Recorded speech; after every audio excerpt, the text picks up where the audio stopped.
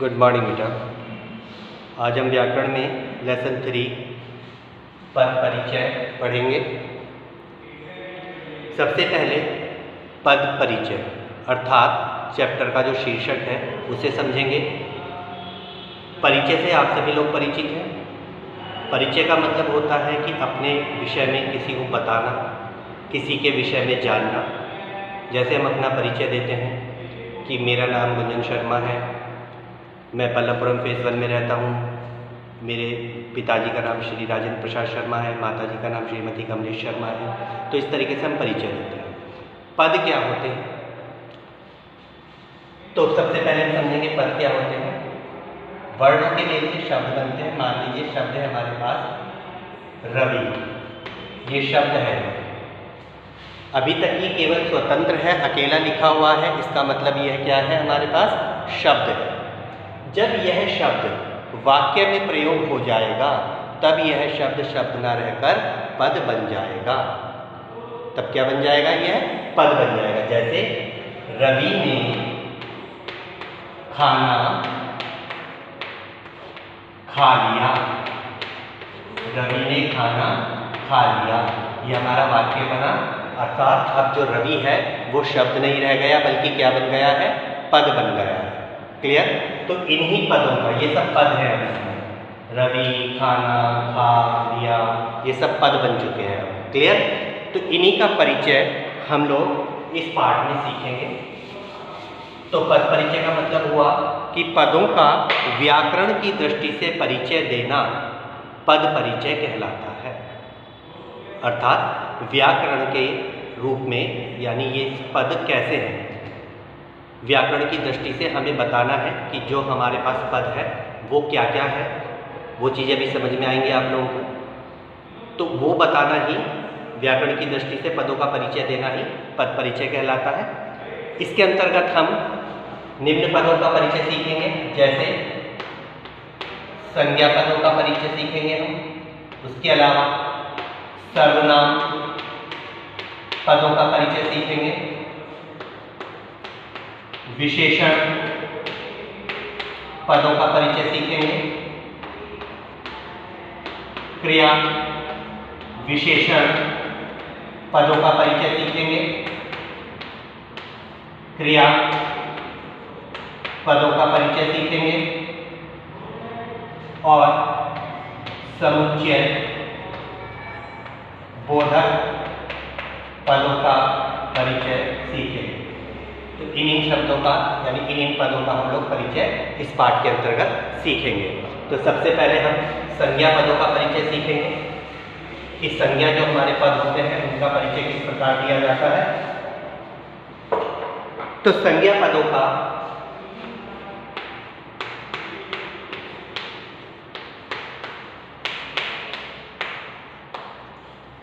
संज्ञा पदों का परिचय देते समय हमें निम्न बातें ध्यान में रखनी है।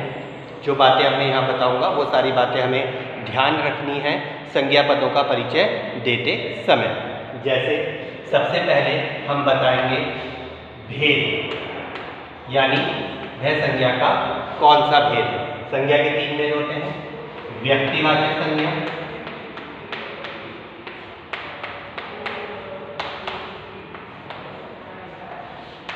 जातिवाचक संज्ञा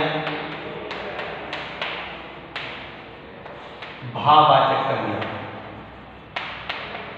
सबसे पहले हम शब्द, यानी पद जो हमारा होगा, जिस पद का परिचय पूछा गया होगा, उसमें पहचानेंगे कि वो संज्ञा का कौन सा भेद है, व्यक्तिवाचक है, जातिवाचक है या भाववाचक है। क्लियर भेद के बाद हम बताएँगे वचन, यानी कि जो हमारा पद है, वो एक वचन है। या बहुवचन।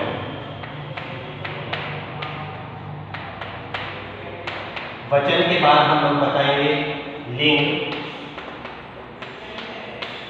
कि हमारा जो पद है, वो पुलिंग है, या स्त्रीलिंग है। उसके बाद हम बताएँगे कारक कि हमारा कौन सा कारक है? कर्ता कारक है। कर्म कारक है। करण कारक है। संप्रदान कारक है। अपादान कारक है। संबंध कारक है अधिकरण कारक है या संबोधन? कारक है। कि कौन सा कारक है? हमें यह बताना है। क्लियर क्या बताना है हमें इसमें? कि इसमें कौन सा कारक है? संज्ञा पदों का परिचय देते समय हमें निम्न बातों पर ध्यान रखना है। कौन कौन सी बातों पर? कि भेद कौन सा है? व्यक्तिवाचक है, जातिवाचक है, भाववाचक है? वचन बताना है, एक वचन है या बहुवचन है? लिंग बताना है, पुरलिंग है या स्त्रीलिंग है? कारक बताना है कि कौन सा कारक है? इज़ दैट क्लियर अब इस चीज़ को हम एक उदाहरण के द्वारा समझेंगे कि कैसे परिचय देना है हम लोगों को। तो एक सेंटेंस मैं बोर्ड पर लिखकर आप लोगों को समझाता हूँ कि किस प्रकार से हम परिचय देते हैं।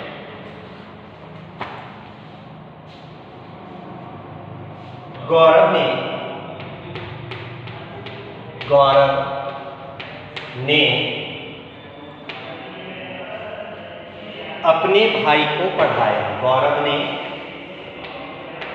अपने भाई को पढ़ाया। क्लियर ये हमारा क्या हो गया? एक सेंटेंस हो गया कि गौरव ने अपने भाई को पढ़ाया। क्लियर इसमें हमें गौरव ने इसका परिचय देना है। तो सबसे पहले तो हम भेद बताएँगे, क्योंकि फ़िलहाल तो हमें पता है कि हम संज्ञा पदों का परिचय सीख रहे हैं। तो सबसे पहले हम भेद बताएँगे। तो गौरव क्या है? व्यक्ति का नाम है। तो यानी व्यक्तिवाचक संज्ञा हो गया क्योंकि सिंगल है। व्यक्ति वाचक, संज्ञा।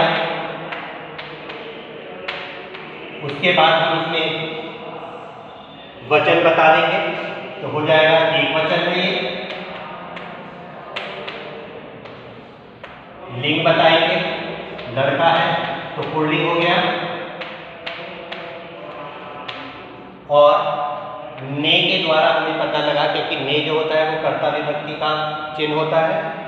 तो यानी ये कर्ता कारक हो गया कर्ता कारक हो गया। क्लियर तो ये इसका परिचय हो गया। इसका परिचय हो गया? गौरव का परिचय। यानी गौरव पद जो था, उसका ये हमारा परिचय हो गया। क्लियर तो ये होता है हमारा संज्ञा पदों का परिचय। इसी प्रकार, इसी सेंटेंस में भाई को इसका परिचय देना है अगर हमें? तो फिर हम सोचेंगे, समझेंगे कि भाई कौन सी संज्ञा है? तो हमें पता ही गौरव का भाई है पर्टिकुलर हमें पता है। तो इसलिए यहाँ पर भाई क्या हो जाएगा? व्यक्तिवाचक संज्ञा हो जाएगा। क्या हो जाएगा? व्यक्तिवाचक संज्ञा। अकेला है सिंगल है एक वचन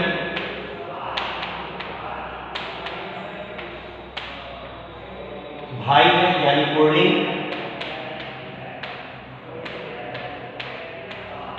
और को के द्वारा जो ये को चिन्ह लगा है भाई को तो हमें क्या पता लगा कर्ता ने कर्म को तो यानी कर्म कारक हो गया। कौन सा कारक हो गया? कर्म कारक हो गया।